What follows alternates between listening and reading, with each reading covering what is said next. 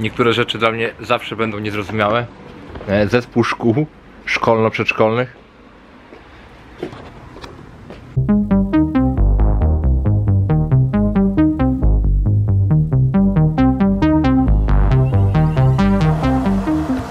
Dzień dobry i witam ze słonecznej Kalifornii. Mamy dzisiaj niedzielę, natomiast wybieramy się dzisiaj do Białowieży. Do miejsca, gdzie często jeździmy z rodziną i gdzie po raz pierwszy pojechaliśmy z żoną chyba 12 albo 13 lat temu, jeszcze przed naszym ślubem. Gdzie było bardzo fajnie. Natomiast ruszamy właśnie do Białowieży i zobaczymy parę ciekawych miejsc, które może nie wszystkim są znane, a powinny być znane, bo Białowieża jest jednym z najpiękniejszych miejsc na świecie.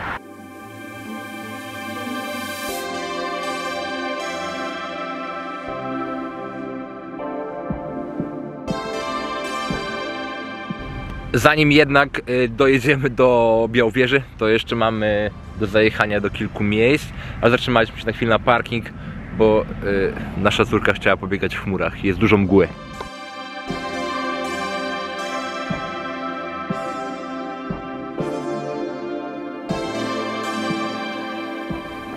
Podczas naszej podróży po Polsce przyjeżdżamy do różnych ciekawych miejsc, e, które są na takiej liście, nawet którą można znaleźć na blogu 3poziomy.pl, na którą właśnie w tej chwili wszyscy patrzymy.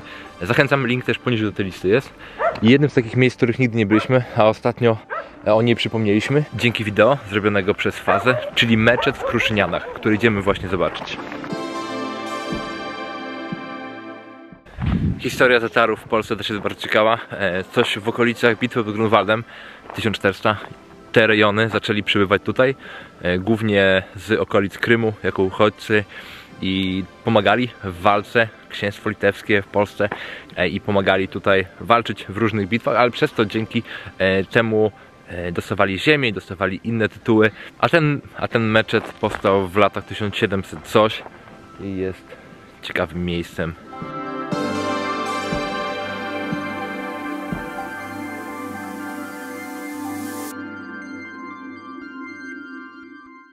To matka polskiej Tatarów. I dla nas to jest miejsce ważne, bo 200 metrów dalej mamy cmentarz. A cmentarz jest czynny tylko tutaj. Tatar był kiedyś żołnierzem, Tatarki zajmowały się ogrodnictwem, a mężczyźni garbarstwem. Genialne miejsce, zachęcam serdecznie, szczególnie dla pana przewodnika, który opowiadał historię. Moim zdaniem najlepsze miejsce, najlepszy przewodnik, jaki kiedykolwiek e, pojawił się na naszej drodze podróżowania po całym świecie. Zachęcam serdecznie do tego, żeby posłuchać. Nie będę zdradzał historii, ale powiem tylko jedno przemyślenie, które tutaj pan na koniec powiedział, który pozwolił nagrywać e, wnętrze i jego, że e, często pytają ich, Tatarów, czy czujecie się Polakami, E, a oni mówią, że nie czujemy się Polakami, jesteśmy Polakami. 600 lat na naszej ziemi, ponad 2000 osób, niesamowite historie i walczyli praktycznie we wszystkich wojnach, które się działy dookoła nas, plus takie słowo jak Ułan, też pochodzi od Tatarów. Plus wiele innych historii, ale to już odsyłam e, do tego wspaniałego miejsca. Zachęcam odwiedzić przy swoich wędrówkach po Polsce. A gdy jedziemy do Białowieży, dwie godziny od Białowieży jesteśmy tutaj, więc można też zajechać. Polecam.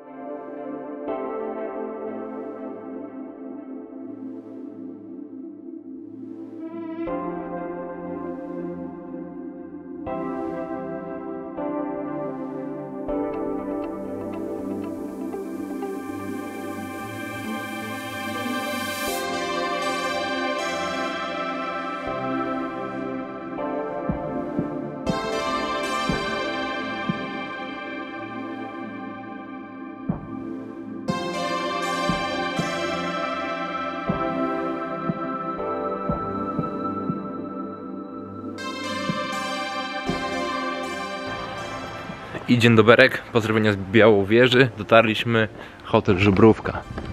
Nasz pierwszy punkt, nasz pierwszy postój.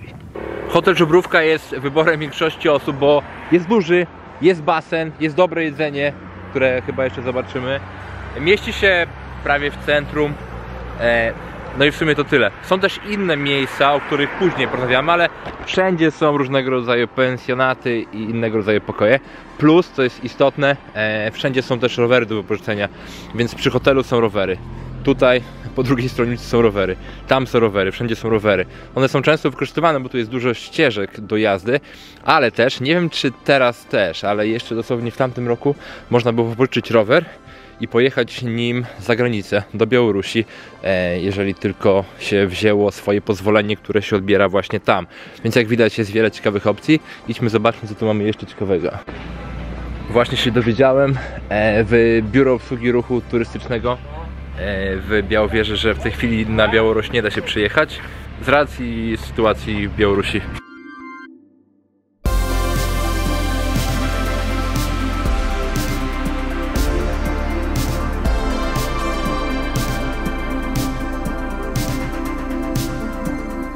Kolejną rzeczą, którą warto rozważyć na mapie swoich przygód w Białowieży jest e, dyrekcja Białowieskiego Parku Narodowego, czyli mamy tutaj e, muzeum, mamy pokoje gościnne, restauracje. To jest ok, ta część, natomiast muzeum jest fajne, e, szczególnie z dziećmi. Możemy sobie posłuchać jak różne zwierzęta wydają odgłosy i super. Fajne z dziećmi, nawet samemu można przyjść. Jest też wieżyczka, na którą można wjechać windą na samą górę i poobserwować okolice. Natomiast moim zdaniem najlepsze jest to, co się dzieje tutaj. Czyli tutaj są tereny, e, po których można chodzić, tam widać sobie ludzie chodzą i tu jest cudownie. Tu jest cudownie, wielkie połacie, po których pochodzimy pewnie któregoś dnia. Natomiast tak, na pewno przynajmniej raz warto te muzeum odwiedzić.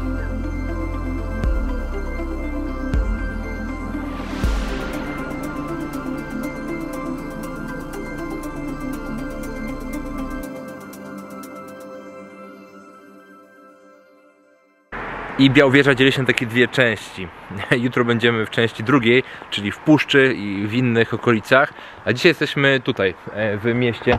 E, O, tak właśnie wygląda główna ulica. Właśnie wejdziemy na nią, może nikt nas nie nakrzyczy. No i dookoła są albo jakieś agroturystyki, tu mamy Benkowo, albo mamy po prostu zwykłe domy, gdzie ludzie żyją. Część osób zajmuje się rolnictwem, część pracuje w lesie, część pracuje przy innych usługach, które tutaj się odbywają. Natomiast większość to agroturystyka.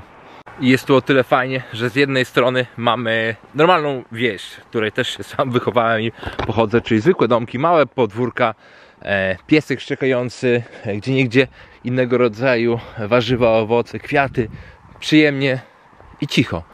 Że jest cicho, czasami jeżdżą samochody, ale poza tym jest cicho. I to jest ta jedna część Białowieży. I mamy jeszcze puszcze, mamy żuberki, e, mamy też możliwość pojeżdżenia rowerem po okolicy. No, jak się okazało, na Białoruś nie przeskoczymy, ale jest po prostu chill. To jest same centrum e, Białowieży w tej chwili. Ale z drugiej strony mamy też restauracje, mamy świetne hotele, patrz Żubrówka. E, Mamy też restaurację Stoczek, która za chwileczkę pojawi się na ekranie. O, i właśnie to jest Stoczek, restauracja. E, Ekstremalnie dobra, naprawdę polecam tutaj, jeżeli ktoś będzie w tych rejonach, zajść przynajmniej raz, nawet sobie napić się kawy, zjeść jakieś ciasto, a ogólnie najlepiej zjeść jakiś cudowny obiad, bo są tu kartacze, e, można tu zjeść też dziczyznę i wszystko tu jest. Wszystko jest cudownie pyszne.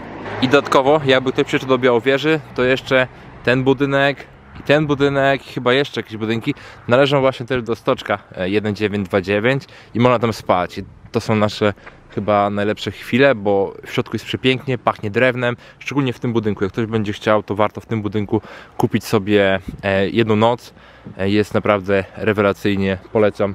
O wiele bardziej mi się podoba same, sama część hotelowa niż w hotelu Żubrówka.